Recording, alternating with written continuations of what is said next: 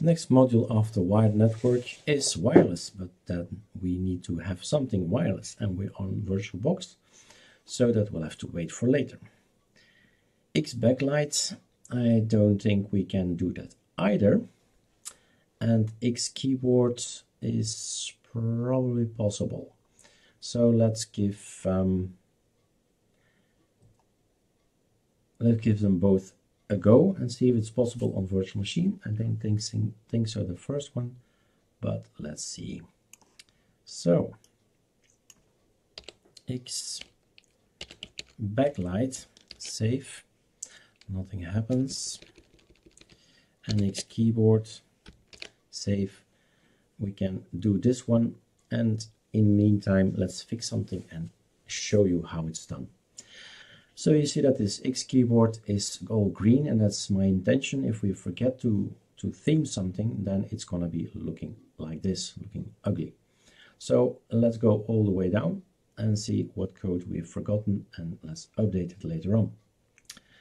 So we're almost there, almost at the bottom. X backlight, that's the one we can't do. X keyboard, and we need to fix this green thing we have a prefix that we can't see. It's a green line down here. So this green is working actually.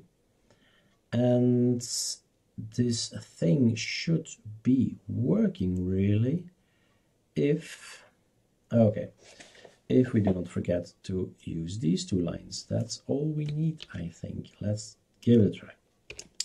Save it, and there we go. So when in one of the GitHub versions something must have gone wrong because this was functioning and it will be functioning again.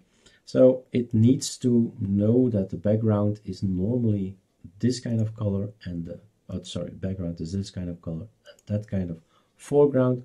Where do these come from? These come from all the way up here called colors and colors and the background is the arch bluish darkish background and the foreground is just, well, more or less white.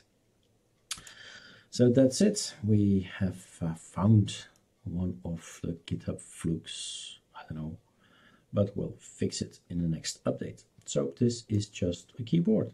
This is my keyboard, Azerty Belgium. All right, enjoy.